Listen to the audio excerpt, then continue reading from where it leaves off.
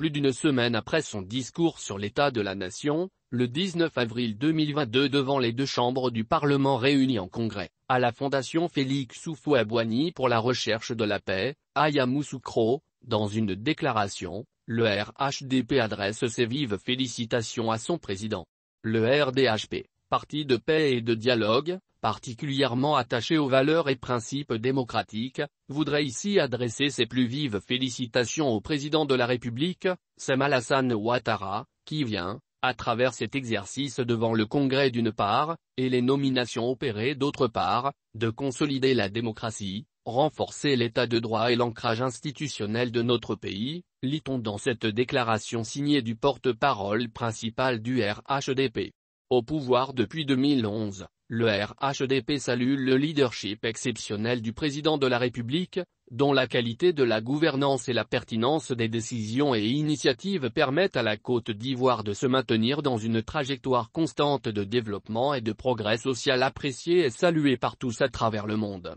La qualité de cette gouvernance, il est important de le souligner, aura aussi permis à notre pays de limiter l'impact de certaines crises mondiales, sanitaires et sécuritaires, sur l'économie nationale et la vie des Ivoiriens, précise la déclaration. Le RHDP réaffirme au président Alassane Ouattara son soutien indéfectible et entier dans toutes les initiatives qu'il lui plaira de prendre pour consolider la paix et la cohésion entre toutes les filles et tous les fils de la Côte d'Ivoire d'une part, et accélérer la marche glorieuse du pays vers le développement et l'amélioration des conditions de vie des populations ivoiriennes, d'autre part. Il voudrait tout particulièrement, remercier le président de la République pour le choix porté sur M. Kone Meliesse Moko, en tant que vice-président de la République. Une personnalité intègre, aux compétences reconnues et précédée d'une réputation et d'un parcours professionnel exceptionnel. Le RHDP adresse ses chaleureuses félicitations au nouveau vice-président et lui souhaite plein succès dans ses nouvelles fonctions, aux côtés du président de la République.